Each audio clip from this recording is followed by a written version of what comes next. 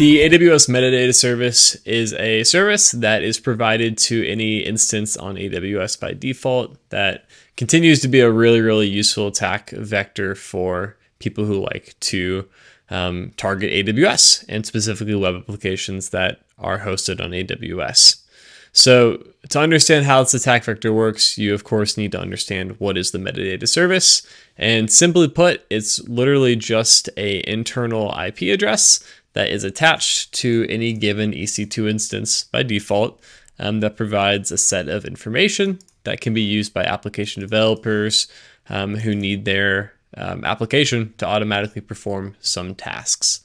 So um, Amazon defines it as a, uh, a service that I believe provides temporarily temporary, frequently rotated credentials. Um, and if your train of thought follows mine, you can understand why something like this would be extremely extremely beneficial for for an attacker. So um, let's go ahead and talk a little bit how an attack would work, and then the realistic variations of it that are most widely seen in the real world. So the most basic example of how this kind of attack would occur is an attacker gaining access to an EC2 instance, um, let's say using something like SSH. So maybe there was a key pair that was laying around and an attacker got access to. Maybe there's some sort of shell that they were able to, or a backdoor, I should say, put on the instance. Long story short is that they are able to execute commands on this instance. Um, once that's achieved, they can then access the metadata service if it's running. Typically it is. And that metadata service is hosted at 169. If I could type 254, 169, 254. So it's an internal IP address and it is hosted on the instance and it can be accessed just using simple HTTP requests.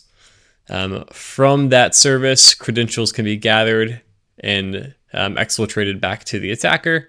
And then from that standpoint, the uh, the exploitation path is extremely custom, right? So it's dependent on what is actually hosted within the AWS environment that this instance is in, what kind of privileges are assigned to those credentials that get generated by the metadata service, and also what is the attacker trying to achieve, right? Are they trying to cause an outage, maybe exfiltrate data from a service like S3?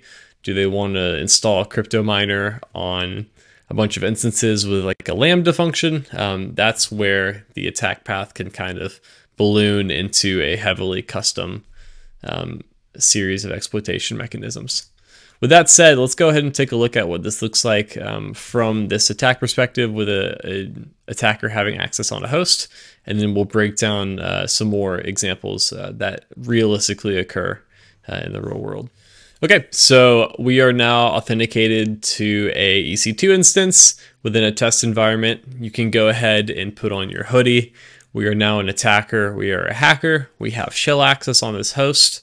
And if we type ID, you can see that we're the Ubuntu user that's uh, provisioned standard with the Ubuntu image that you can just pull off of AWS. So we have shell access, we have command execution. Let's go ahead and start interacting with the metadata service, and eventually I'll show you how you can get credentials from it. So you can start by simply issuing a little curl request, or sorry, an HTTP request using curl to the URL that we talked about earlier. And that will reveal a series of different um, paths that you can interact with. Now, the metadata service is um, on slash latest slash metadata.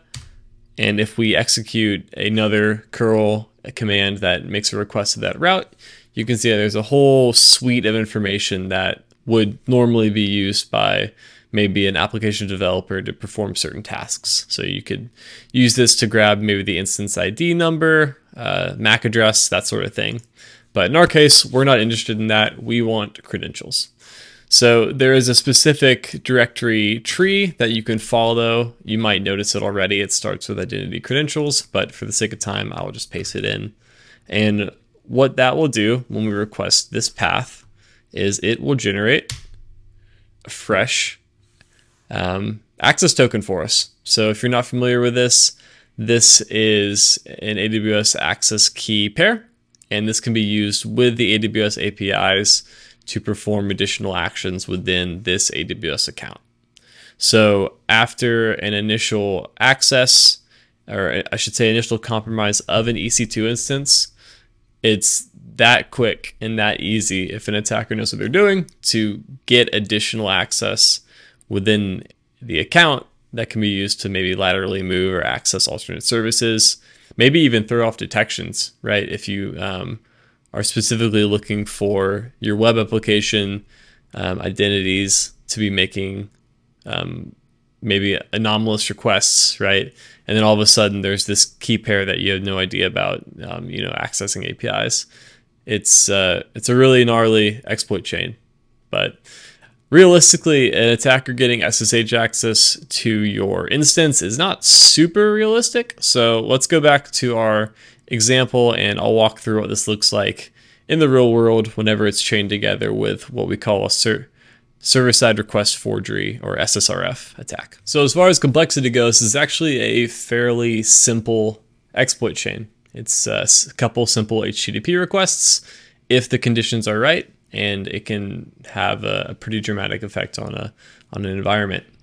So as far as mitigation goes, what can you do? Well, uh, AWS has released a newer version of the metadata service that you can select on your instances. It's called IAM DSV2, I believe. Yes, IAM DSV2. So what that does is instead of um, allowing a user to just issue a simple HTTP request, um, it requires um, an access token to be used with the service, or a session token, I should say. So instead of um, just using GET requests, you have to actually um, issue a initial put request, and that generates a token for you that's then used in any subsequent request uh, to the metadata service. So it doesn't actually disable the ability to request um, security tokens, or I should say security credentials from the service. It just makes it a little bit more convoluted. So sometimes when you have an SSRF vulnerability, it's hard to um, induce it to make a put request or very custom HTTP requests that you would need. Um, it's usually just a GET request. So this is not a complete mitigation, but it is something that is going to make it a lot more difficult for attackers. Um, there is also the option of disabling the metadata service if it's not used. However, I have not personally researched that, and from what I can see, it looks like there is pieces of functionality that is very handy to have from the service. So that's something where you'll have to take a look at your web application and what functionality you need and make a, a judgment call based on your use cases. And that pretty much wraps up the attack chain. It's, uh, like I said, fairly simple, but it is something that we, we do find um, within environments. And it's something that is surprisingly um, commonplace and I don't think really going to go anywhere. So Thanks for watching. Hopefully this was helpful and informative. And if you have any questions on the intricacies of this attack chain or any other cloud related concepts, feel free to hit us up at Risk360. We'll be happy to help.